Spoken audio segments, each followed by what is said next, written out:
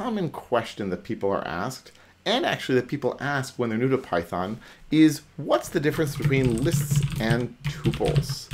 Okay, the simplest way to describe it, but also not the most helpful, is to say that lists are mutable and tuples are immutable.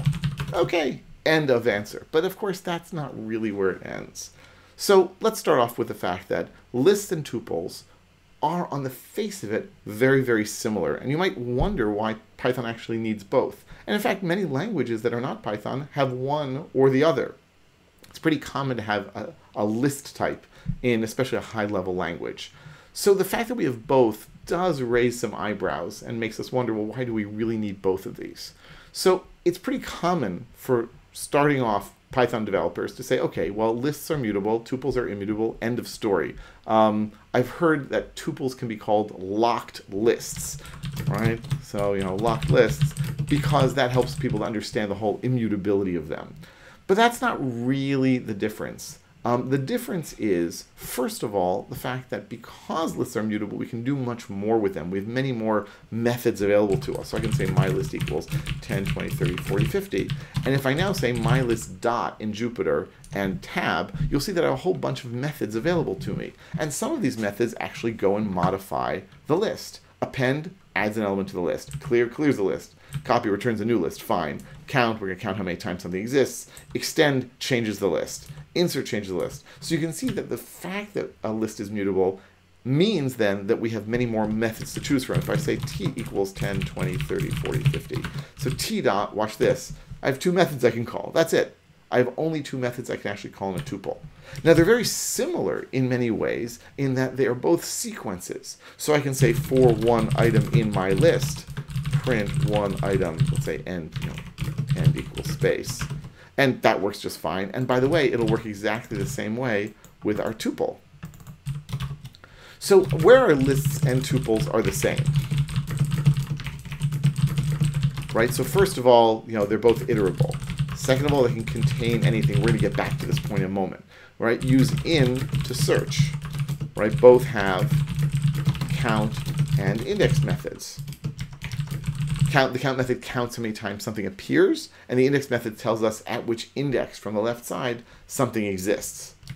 Right, so they all they, they both have these qualities. They are both sequences, and so they both share these qualities. Um, and we can use, you know, I should say indexes and slices on them too. Index and slice with square brackets. So aside from the mutable versus immutable thing, where are they different? And this is not a technical definition. This is a sort of cultural definition. So lists are for sequences of the same type. And tuples are for sequences of different types. Now, as I like to say, the Python police are not going to arrest you if you use them in the wrong way. But it's pretty darn common to see them used in this way.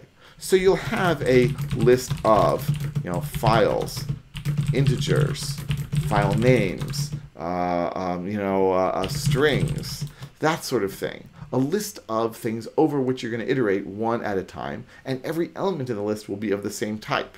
Whereas the tuples are used for structs or, you know, uh, if I'm retrieving from a database, get the records, right? So that sort of thing is where I'm going to be seeing them. And that's because a tuple can have, or it, traditionally will have, different types of data inside of it. So it's okay to have a tuple representing a person. You know, I can say P equals, you know, we'll say here, you know, Reuven and Lerner, and my shoe size is 46, right? It's pretty normal to have two strings and an integer there, simply because, well, we're going to have those different types together, and this represents a record. Whereas if you're going to have a list, you could do it. There's technically nothing stopping you from doing this, but of course, it'll, it'll look a little weird.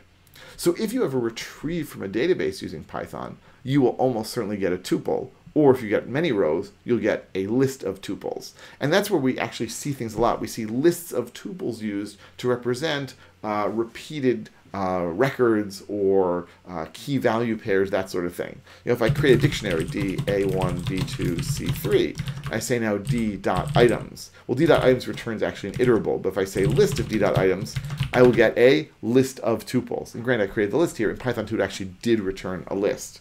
Now it's an iterable, so it's just, you know, sort of hiding the list that would be there. So lists of tuples, super, super common. Lists of lists, also common, and but tuples of lists, that, that's kind of weird. You're not going to see that very often, if at all.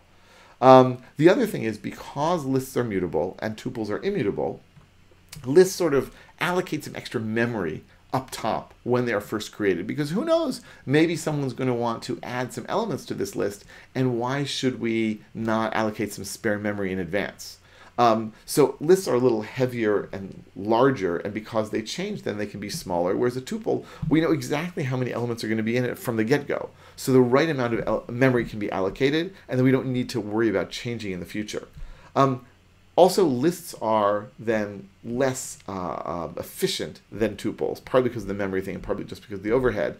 And tuples are actually used even though you might not see it day to day, but tuples are used to pass arguments to functions. So when you call a function, the arguments that you pass to it are actually passed as part of a tuple.